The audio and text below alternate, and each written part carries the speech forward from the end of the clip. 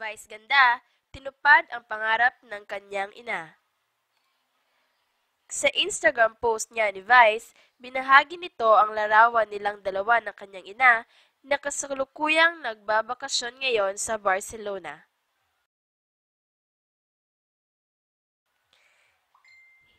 Here's Vice Ganda's Instagram post.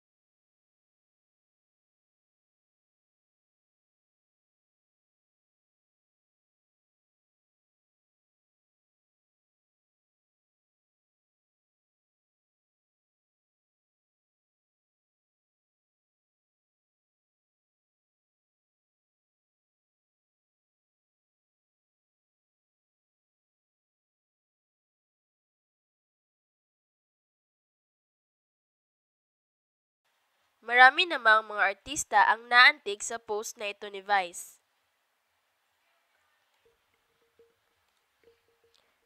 Ayon sa comment ni Jaya at Private Benjamin, well done. What a blessing indeed. God is smiling at you for sure. Happy for you, dear.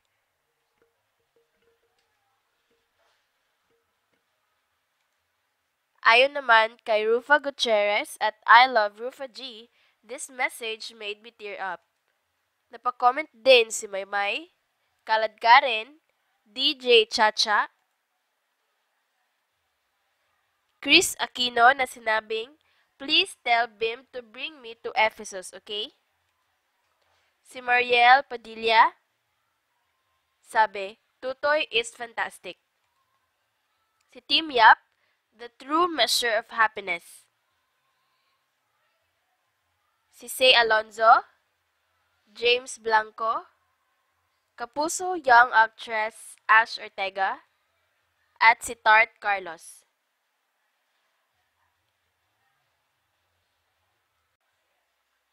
Ang post niya ito ni Vice ay umabot na sa 300,000 plus like at 2,854 comments sa loob ng tatlong oras.